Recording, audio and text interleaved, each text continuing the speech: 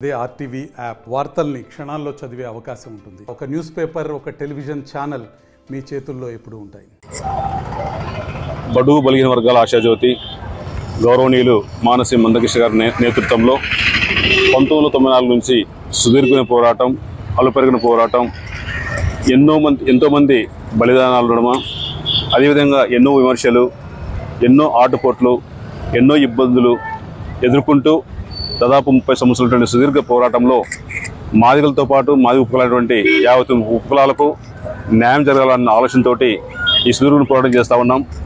ఈ పోరాటంలో ఎన్నో సమస్యలు ఎదుర్కొన్నాం ఎన్నో ఇబ్బందులు ఎదుర్కొన్నాం. ఎంతోమందిని మా ఉద్యమ నాయకుల్ని పోగొట్టిన సందర్భాలు ఉన్నాయి. అయితే అలుపరుగులు పోరాటం పోరాటం చేస్తూ మానసి మందకృష్ణ గారి నాయకత్వంలో మరి ఈ ఎస్సీ వర్గీకరణ కోసం చేస్తున్న పోరాటంలో మరి ఈ రోజున సుప్రీంకోర్టు ఏడు మంది ధర్మాసనం ఏడు మంది జడ్జిల ధర్మాసనం ఈరోజు ఆరు ఈస్ట్ వన్ విజయం విజయం సాధించని చెప్పి నేను అనుకుంటున్నాను. మరి ఈరోజు మా యొక్క మా జాతి అంతా కూడా న్యాయం గెలిచిందని చెప్పి మేము చాలా సంతోషం. హర్షాతిరేకాలు మేమంతా కూడా సంతోషాన్ని వెలిపిస్తున్నాం. మరి ఈరోజు మరి ఈరోజు అభినందన సభ ఏర్పాటు చేయడం జరిగింది. మరి కార్యక్రమం పాల్గొంటే ప్రతి ఒక్కరు కూడా మేము ధన్యవాదాలు తెలుపుకుంటున్నాము.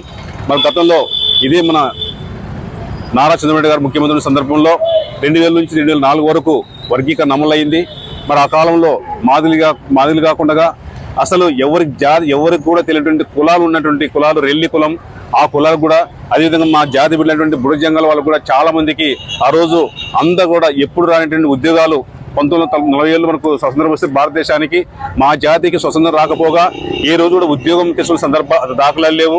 ఆ క్రమంలోనే రెండు వేల నుంచి రెండు వేల నాలుగు వరకు ఇరవై రెండు వేల మంది ఐదు వందల ఉద్యోగాలు మాకు వచ్చాయి.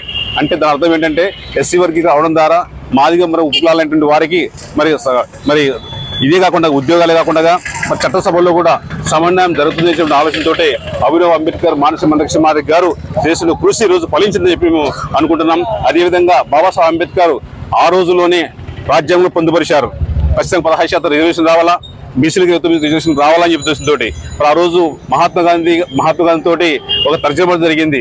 ఎస్సీ వర్గీకరణ చేయాలా? వర్గీకరణ కావాలని చెప్పి అనుకున్నప్పుడు ఆయన వ్యతిరేకించడం జరిగింది మన గాంధీ గారు. అయితే ఈ రోజున ఈ రోజున మరి అభినవ్ అంబేద్కర్ వంటి మానసి మాధకృష్ణ గారి నాయకత్వంలో ఈరోజు సుప్రీంకోర్టు జడ్జిమెంట్ ఇచ్చిందని చెప్పంటే మేము చాలా ఆనందంగా ఉంది. ఈ ఆనందాన్ని వీళ్ళని త్వరలో మరి ఎస్సీ వర్గీకరణ చేసుకోవడానికి అనుకూలంగా ఉంటుందని చెప్పి మరి ఎందుకంటే నారా చంద్రబాబు గారు గతంలో వర్గీకరణ చేశారు కాబట్టి మరి వర్గీకరణకు అనుకూలంగా చంద్రబాబు గారు ఉన్నారు. మరి ఎన్డీఏ కూటమి కూడా బీజేపీ ప్రభుత్వం కేంద్రంలో ఉంది కాబట్టి అన్ని రకాలుగా విజయవంపు నడవడానికి మాకు ఆస్కారం ఉంది కాబట్టి- కాబట్టి వీలైన త్వరలో ఆ ఉద్యమం ఫలితాలు మేము ఖచ్చితంగా అందుకుంటాం. వర్గీకరణ ఫలితాలు అందుకుంటాం అని చెప్పి ఈ సందర్భం గుర్తు చేస్తూ మరి ఈ అవకాశం పెద్దలందరూ కూడా ధన్యవాదాలు చేసుకుంటూ సెలవు తీసుకుంటున్నారు మరిన్ని వీడియోస్ కోసం ఛానల్ సబ్స్క్రైబ్ చేయండి. లేటెస్ట్ అప్డేట్స్ కోసం వాట్సాప్ ఛానల్ ఫాలో చేయండి. అండ్ లింక్ డిస్క్రిప్షన్లో ఉంది.